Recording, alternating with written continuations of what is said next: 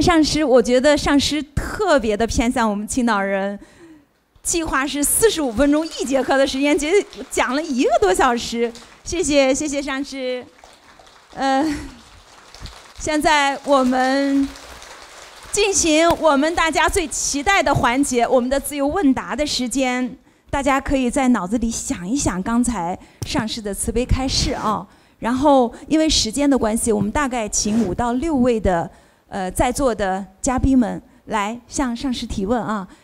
嗯，上师您好，呃，是这样哈，我我是那个刚才听您在演讲中说这个这个慈善啊，它有的时候不是一个微笑，它也是一个慈善的行为。包括我以以前看您的一个那个演讲，呃，主题就是慈善的根本是心。可是在这个现实生活中呢，有的时候我们发现很多慈善行为，它这个没有金钱，它是进行不下去的。嗯，包括有的人说哈，这个呃，有一些这个人认为这个慈善组织就像是一个这个富人。俱乐部一样哈，这个我就想问一下，您对这个观点是怎么怎么看的？再有一个就是在一个这个呃慈善组织中，您认为什么东西是比较重要的？怎么如何来关待这个慈善与金钱的关系？嗯，请上师开始。谢谢。嗯，这样的，其实我们这个所有的人的这种全民素质，或者说人们的道德观。大家都有善心的话呢，呃，这个时候可能呃不会把所谓的慈善呢，就是当做一些富人的事情，或者说是就是做慈善这个呃慈善家的一些聚会也好，或者是做慈善的这样的这种活动呢，看着一些富人俱乐部啊，就是就不会这么想的，因为像一些西方国家有一个别的话呢，他从小都是。啊，包括在幼儿园、在小学、在中学当中的话呢，就整个社会的他的这个呃体制当中呢，就是都有含有一些做慈善的这个行为啊，就是包括在他们的这个教育当中的话呢，一直是推广就是这种慈善。当然，这种慈善跟我们这个佛教的慈善呢，就是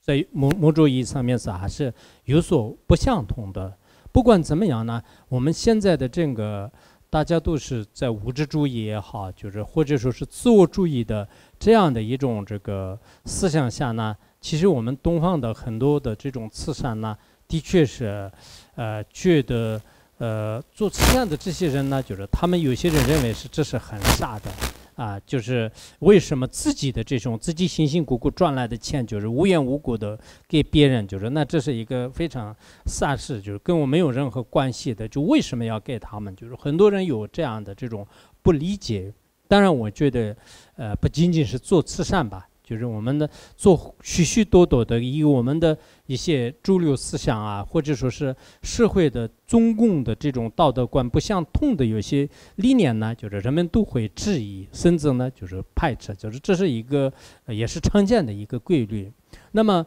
针对这样的问题的话呢，首先是我们对家人也好，对学生也好，对所有的人呢，其实慈善是应该每个人都是都要做的事情，就是。就有些家庭的话呢，就在零花钱当中，就是对学生的一些很很少的这些零花钱里面的是慢慢慢慢，就是就积累一些部分的，比如说百分之一啊，就这样的是做慈善，从小的是培养这样的理念。那么这样的话，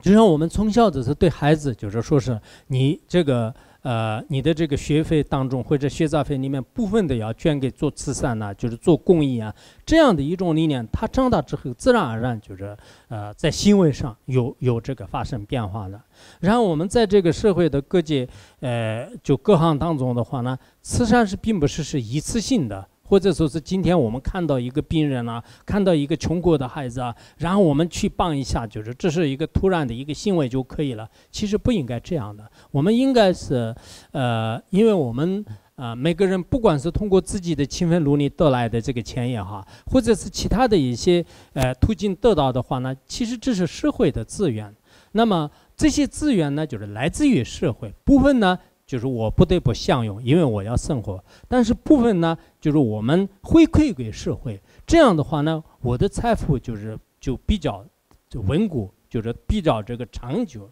如果我没有这样，我在非常富裕的时候呢，就是全部都我自己就是肚子吞吞吞下去。当我一无所有的时候，我这个时候才发现，哦，原来我其实拥有财富的。可是我那个时候呢，一点就是善事都没有做，就是特别可惜。所以我想是我们大家就是通过各种途径来，就是把这个慈善的一种必要性，就是对社会各界人士呢。就是从道理上、理论上慢慢慢慢讲，然后行为上呢，就是不松懈，就是慢慢比较合理的去推广的话，到一定的时候呢，就是人们自然而然能接受这样的这种慈善理念。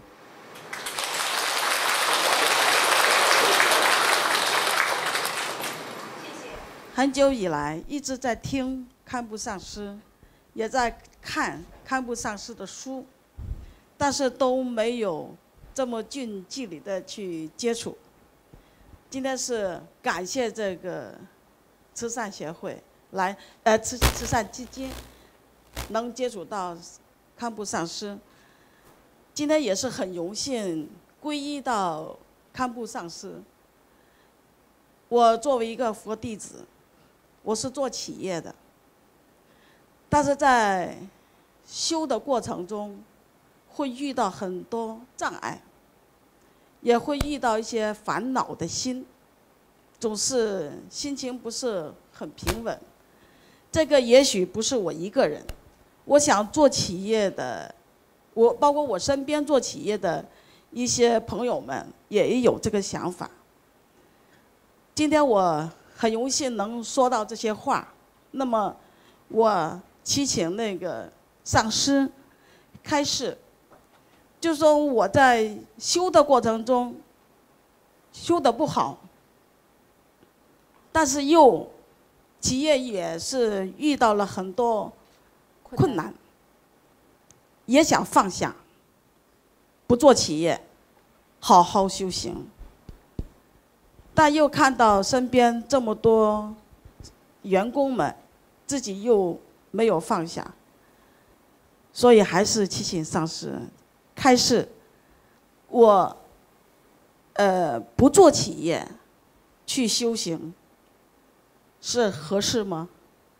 其实我刚才也间接在我的前面的，呃，给大家讲的语言当中也说了一些，嗯，作为企业呢，应该是对社会的一个责任，应该他有对社会的责任。前一段时间我在佛教的一个开示当中呢，我特别赞叹，就是有一些企业家呢，呃，对现在社会的贡献。什么社会的贡献呢？如今在这个时代当中，很多人都找不到工作。如果有一个企业家，就是他能数很多的人就解决，就是他们的这个就业问题的话呢，那这是应该是一个非常。非常大的这个菩萨行为，嗯，所以呢，我刚才也讲了，就是建议呢，啊，你可以安排你的呃时间，啊，譬如说呃星期呃星期三一三五你上班，然后二四六就休息。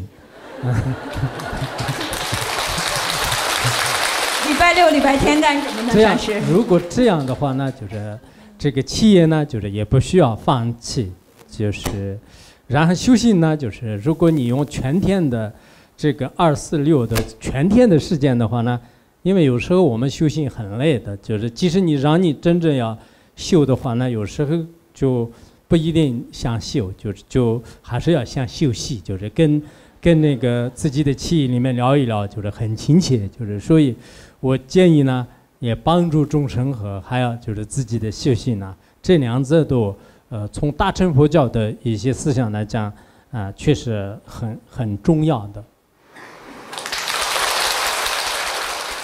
呃，感恩上师。好，接下来我们请出第三位问问题的人。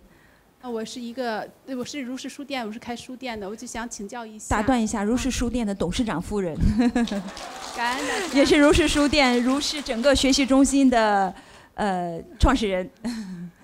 感恩大家，是这样，我有请想请教一下，就是作为一个新的一个修行人，然后自己企业又很忙，就想平衡这个时间，然后也想带动身边的很多的伙伴一起来修行，怎样就是感染他们，大家一起去做呃有意义的一事情，帮到更多的人。第二个小问题是，其实我每天就很焦虑又很快乐，在这个企业运营过程中遇到各种困难和坎。有时晚上程序我会睡不到觉，但是我又想我做的事情就特别有意义，又非常的开心，就这种平衡焦虑，就是又快乐又又焦虑这种状态，怎么去平衡它？然后怎么样我的企业能活，能走得更远、更久、更发展，能带动或者帮助更多的人？感恩上师。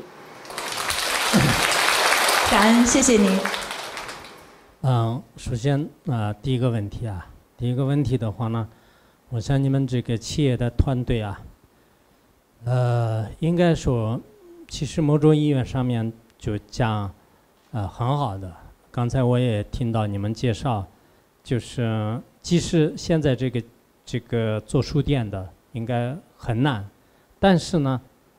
就是给大家一种无形的提供一个嗯阅读啊，就是智慧，就这样的一种机会，而且。现在这个时代是一个碎片时代，就是没有一个整体的框架。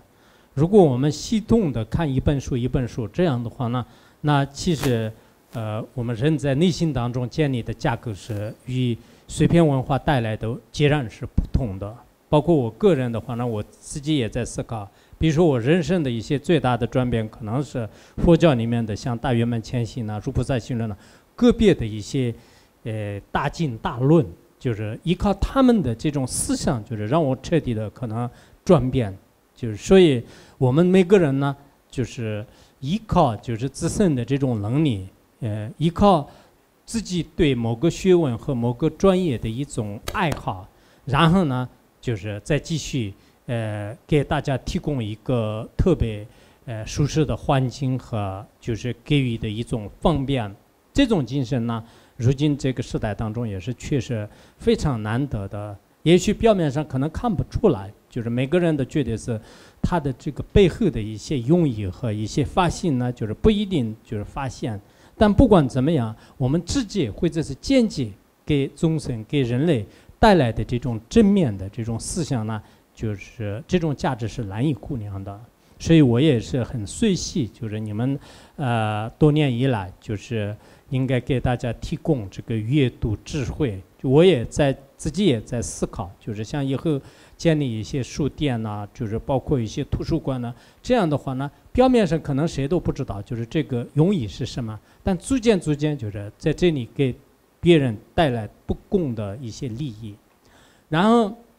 同时你的这个团队呢，在这方面就是要要引领什么样的一种精神的话呢？实际上是。我们每一个地方的这个团队呢，就是都是跟我们的这个主要的这个核心人物、领导班子的思想有非常的这个密切的关系。在这个时候，我们应该有一些比较善心啊，就是像心经波罗蜜多啊，有一些利他的这种思想的这种主流的一种啊，可以说是一种啊文化。就这种文化呢，就是给他们就是经常就是呃强调。啊，就这样的话呢，啊，其实我们今天也有很多的企业家吧。就企业家的话呢，那你企业里面的这些人呢，就是至少也是，当然他们有没有信仰是可能个人的事情。呃，我昨前天在在哪里啊？就是有一个地方听到说是有一个企业家，就是呃问他，就是你信不信佛？就是如果不信的话，那就是企业家里面马上开除。我想这倒是有点儿太太那个，但是这个是也是一种方法吧。就是有些是也有这样的。但我觉得我不建议这样，就因为有些信仰是就是可能是比较比较自己就特殊的缘分吧。但不管怎么样呢，我们就比较赞叹，就是个人对那个这种知识也好，佛教也好，有些信仰也好，这方面的一些偏重。然后呢？就是给他们提倡一些这方面的这种思想，比如说我遇到的很多的念心经啊、念弟子规啊，就这样的企业文化，就这个是非常好的，这是第一个方面的。然后第二个问题的话呢，就我们现在每个人的心态呢，就是可能有时候是可能比较开心呢，就是觉得是自自己活在这样的这个人生啊，就是获得这样的人生，也健康啊，就各方面的这种条件也比较不错啊。有时候的话呢，可能工作压力啊、生活压力啊，包括就是家庭就各种各样的这个事情，就是就就心里面就是特别烦，就是但这个是每个每个人，尤其是可能这个时代当中的很多人的一种可能特。特特定的一种事物吧，就是每个人都看有些时候是有心情不太好的，但这个是我觉得最好是修行这个大乘的，像如菩萨行人那样的利他思想。如果我们真正是有一些利他思想的话呢，那不管是你在生活当中遇到的任何事情的话呢，虽然会有烦恼，会有痛苦，但是如果你的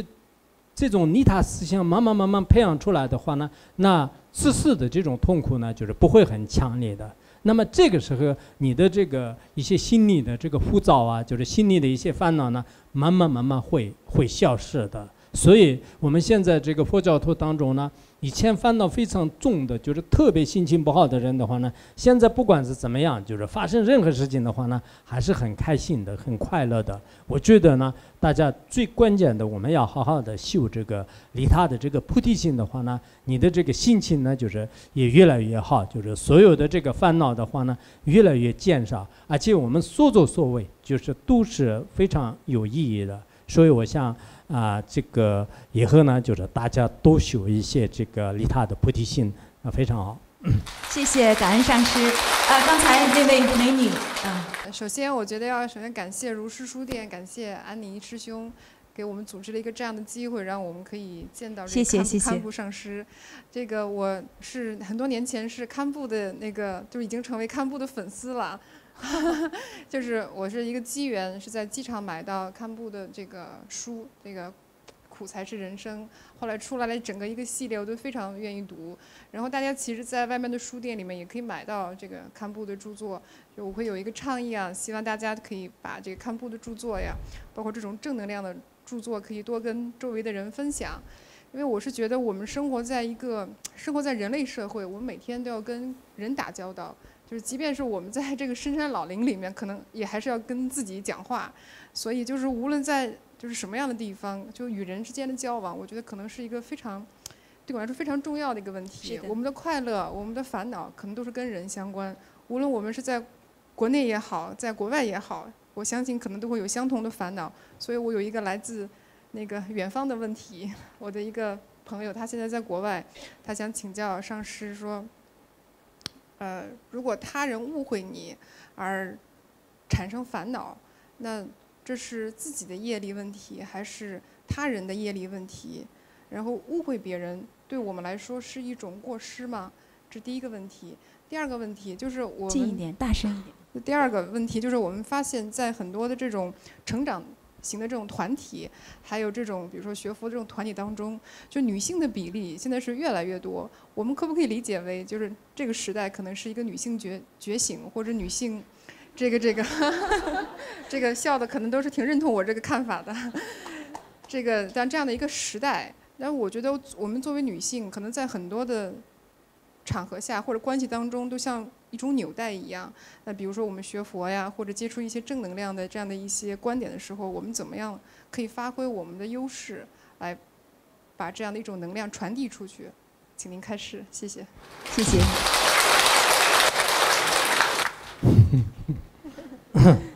别人误会。嗯，对。被别人误会。知道。好，这样的，你那个告诉他。嗯，误会，其其实误会的话呢，嗯，实际上，嗯，看啊，别人误会的话呢，这个是，嗯，也要观察这个事情的这个经过，因为有两种情况，就是有一种情况呢，呃，就别人误会的话呢，比如说我误误会每个某个人的话呢，可能。呃，因为我的智慧不够，就是别人这个就许多这个行为是非常如理如法的，但是我的智慧不够呢，就是对他的这种所作所为，呃，就就生气，就是呃特殊的信念。还有还有一一有一种的话呢，就是可能呃，确实是呃，他们的这种这个行为或者是他们的这种思想呢，就是也有也有关系的，就是这是在这个佛陀时代啊，就是佛陀时代的时候呢，诸如此类的这种故事就是非常多的，就是比如说我们诽谤就是某个出家人。那诽谤某个出家人的话，那有些是呃有原因的，就是他他自己就是相续当中有有谢见的，就是稍微有一点因缘的时候呢，以这个就是就大做文章，就是啊如何如何。你看现在也是在网上的很多事情呢，就是有些是完全是一种诋毁，但是呢没有任何理由的话，可能会会讲一点点理由，就是他就就依靠这种把柄，就是就开始说的。有些的话呢，就是可能是，呃，就是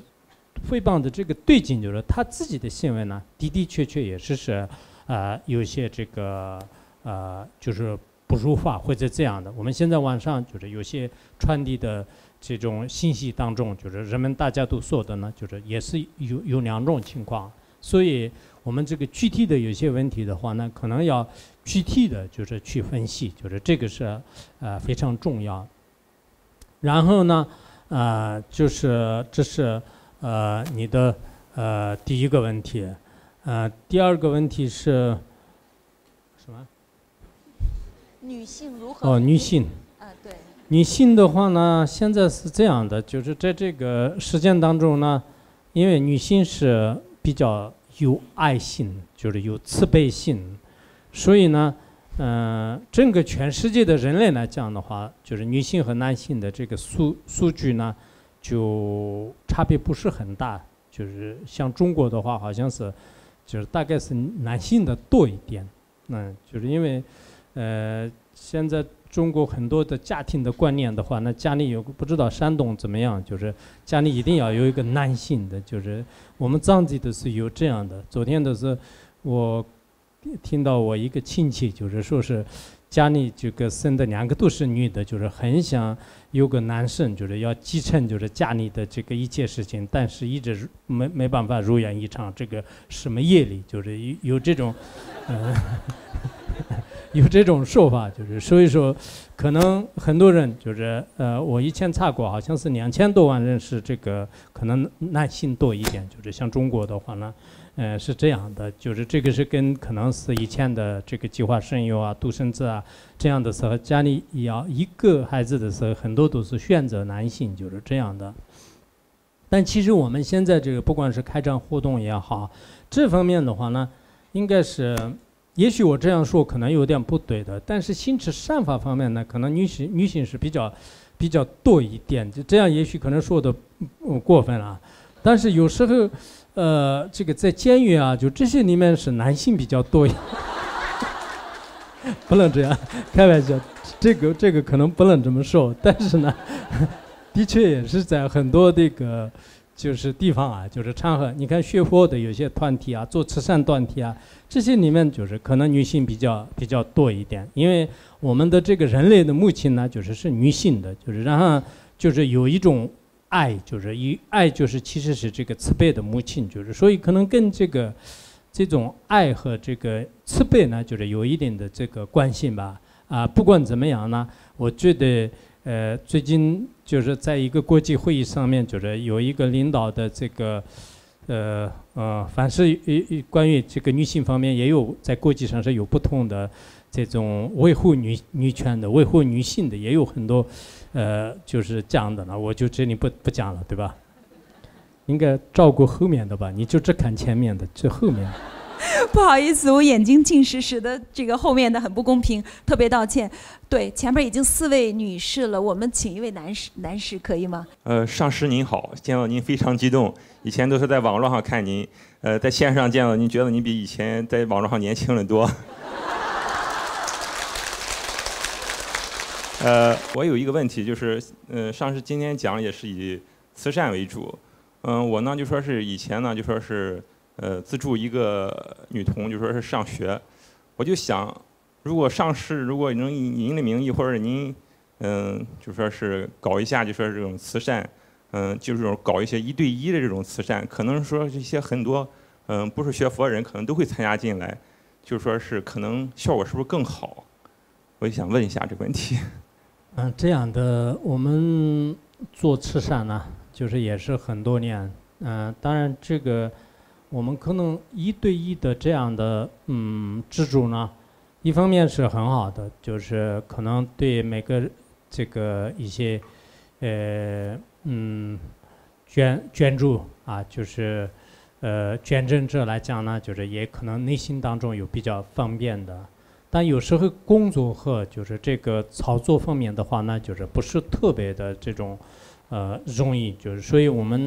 呃，也有一些这个一对一的，呃，但是最重要的呢，就可能是，呃，因为基本上这个意意思都是是一样的，就是所以我们这个有些愿意这个助学的，就是这些的话呢，专门这个就是助学的这个项目当中的话呢，实际上是是。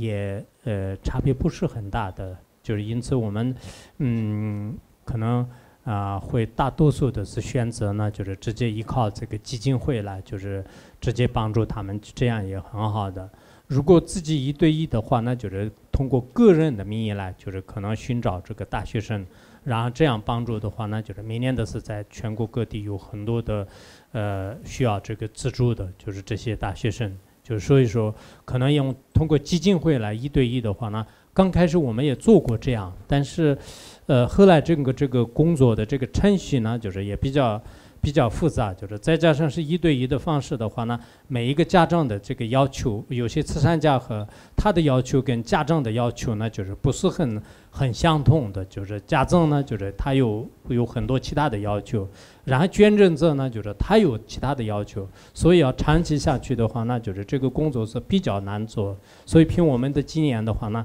他如果愿意的话，那就是直接给这个基金会联系；如果非要一对一的话，那就是以个人的名义来，就是做这件事情，也是是呃非常有必要的。谢谢上师。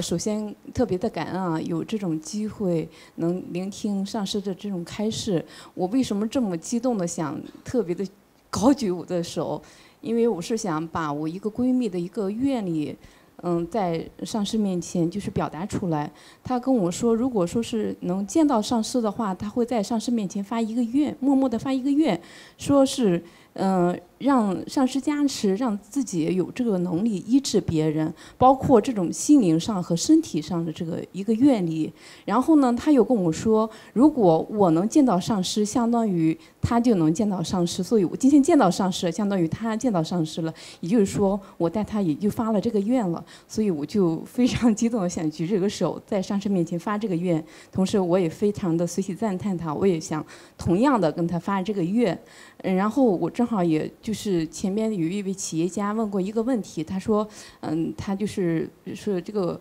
呃，做企业和呃自己的修行可能时间上有所冲突。嗯，我呢，我恰恰有一个相反的一个想法哈，为什么呢？因为我们在就是呃帮助别人的时候，有时候会需要金钱，而我们有时候个人的这种力量非常的单薄，嗯。在力量单薄的时候，就对这种钱财这种需求之心比较强一些，所以有时候就特别想求财。但是在这个求财的过程中，有时候就会心里会矛盾。嗯，如果求财呢，会不会让自己的心会走远了？所以就想请上师开示一下，我们怎么样才能守住自己这颗心，然后又能 有有这种金钱去帮助别人？感恩上师开示。嗯，嗯，这样的 求财，嗯，法院，嗯，君子求财，取之有道，啊，君子爱财是吧？这样的，一般我们，嗯，可能做嗯慈善也好，做有利益的事情呢，一方面可能。怎么讲啊？就是有一些，嗯，可能对钱财的这个，就是需求之心，嗯，这也是有的，嗯，但这个方面呢，我就建议呢，比较随缘吧，就是就自己有多少的能力，呃，就像以前佛经里面讲，有一个这个女性呢，就是她看到那个波斯王这个波斯尼王供养的这种僧众特别特别多的时候呢，他自己呢，啊，就是做一个小小的这种宫灯来做会像，最后声闻缘觉吹灭的时候呢，把这个灯的是没办法这个摧毁。后来佛陀说这是。强大的发心力所设的，就是一般声闻缘觉没办法，就是摧摧毁这种灯。所以，我们自己有什么样的这种财富，哪怕是一分钱也好，一毛钱也好，一元钱也好，这样的一种心态的话呢，实际上也是是用这个大菩提心来摄出的话，其实这个是功德是无量无尽的。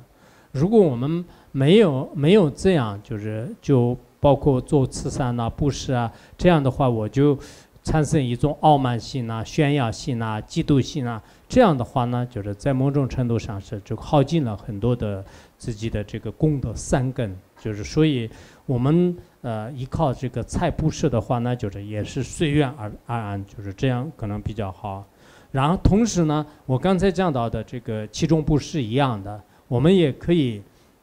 根据自己的能力，就是做这个发布施啊，就是也是对周围的这些人呢，就是通过言语来给他们呃讲一些就是非常有意义的大乘这个思想啊。就是作为佛教徒的话呢，我觉得是这也是是呃最重要的一种这个这种财富啊，就是最重要的一种财富。还有呢，我们这个可以发愿，就是就刚才。呃，讲到的一样，就是我们要发，就是大的这种，像《普贤行愿品》里面讲的一样，就是发愿的话呢，那种力量呢也是特别的强大。但不管怎么样呢，啊，就你刚才还讲到，就是可能修行和一些工作上面有时候是时间上的一些呃这种冲突啊，就是这这些，其实这个应该可以这么讲，嗯嗯，我们大多数人的这种忙碌呢。就是可能很多人认为是因为自己，呃，修行不好呢，就是因为做什么发心呐、做慈善呐这个原因。但这个我并不是完全承认，因为可能我们的大多数的时间呢，也许可能去三乱了，就是不一定你的因为发心的原因。就很多人因为我太忙了，就是因为我的这个。呃，就文思不好的原因呢，就是我做发信，就是我希望我们这种人的话，呢就是可以一个礼拜当中你自己在文字上写一下，你发心就是多长时间，就是比如说一个礼拜当中你发心就是发了多少个小时，然后你修心就是要多少个小时。然后其他的你散乱就是多少个小时，你睡觉多少个小时，这个时候也许我们包括有些佛教徒就是真正发心呢，就是不一定耽误了你的最大量的时间。所以这个时候呢，我们会发现就是自己的呃这种这个时间和这个发心之间的一些矛盾啊，就这个很多人来讲可能需要重新做的一些功课。感恩上师开始。感恩上师，接下来我们请出最后一位，看谁是最后一位幸运儿。我们还是请一位男士吧，您看。好，这位这位先生啊。呃，尊敬的上师好，呃，我也要问一个问题，请上师开示，就是我们啊是做生意的人，有时候呢为了感激别人或者感恩别人，经常会请别人吃饭，可是呢我们是佛教徒呢。有说呢，不能吃肉，不能杀生啊，这个有时候对我们自己的要求。可是呢，有时候我们请别人吃饭的时候，我们到了，他们已经把菜点好了，在青岛就是一点一桌嘎啦，活虾活蟹子。这个时候呢，我们就很纠结，很难受。可是呢，又我们又不得不在这个路上老是这样循环，每次要请别人吃饭，每次又。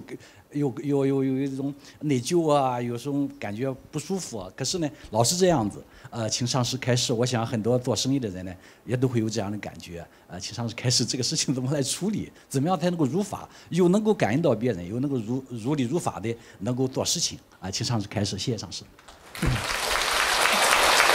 嗯，这样的。啊，我们吃饭的时候呢，作为佛教徒，就是不能。因为自己是吃素的原因呢，就是让别人也是要求吃素，就是这个是可能不对的。呃，昨天，呃，昨前天吧，就是我们去一个地方，呃，然后那那个领领导呢，就是说我们今天的这个餐桌上呢，呃，也有荤的，也有素的，就是可以一国两制。呃，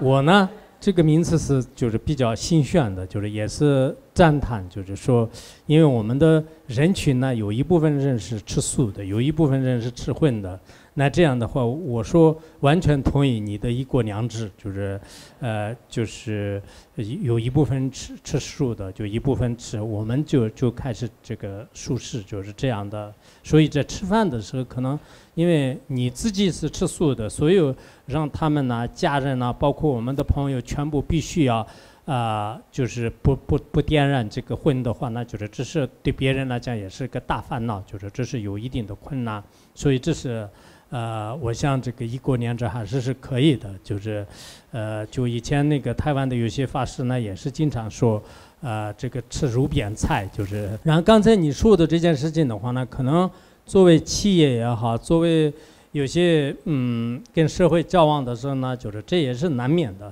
尤其是我觉得，呃，像像这样的这种海边城市的话，那确实是可能造的这种 杀生的业，就是这比较严重。就是可能你们作为佛教徒也好，非佛教徒的话呢，就是也应该值得忏悔。就是我也在想，就是如果我从小都是在这里成长的话呢，肯定杀了很多是这个众生。就是所以可能更加要念那个金刚萨埵。比如说别的地方念那个十万金刚萨埵心咒的话呢，你们可能海边的人呢，可能要这个呃就就翻倍的，就是二十万金刚萨埵，就是因为可能。是吃的比较多啊，就是这个上面可能参会方面就是更加呀，这值得就是要特别的，就这是从小都是这样。不过幸好呢，就是现在很多佛教徒就，呃，大多数的已经归归了一之后呢，就是基本上的，就是不颠杀，就是甚至呢吃素的。这个是我们佛教徒的应该是一个最大的贡献吧。如果你没有皈依。继续这样下去的话，那就不知道今生当中造了多少业。就是这一点，当然我并不是说非佛教徒啊，就是是佛教徒这边的话呢，也是是，呃，我那天跟呃有一次我跟一个啊朋友就是说，他说我现在修行不好，就是特别特别烦。我说。这个也没有什么吧，就是至少也是你这个皈依了佛以后的话，那就是你亲自没有电杀，就是这一点也是你一生当中是可能你皈依佛佛教之后的话最成功的一个修行，就是我是当时这样讲的，就是这是第二个方面的。然后第三个方面，你刚才说到的这个问题呢，可能啊，就我们经常这个招待客人啊，就在这种情况下，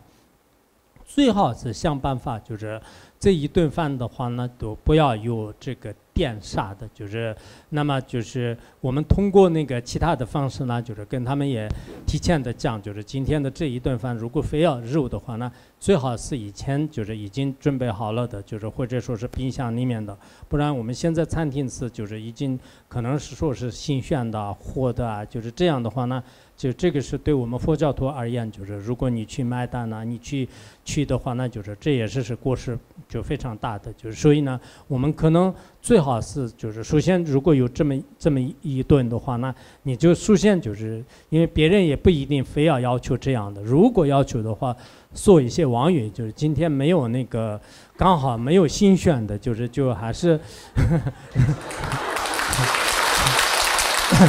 谢谢谢谢上师，谢谢你。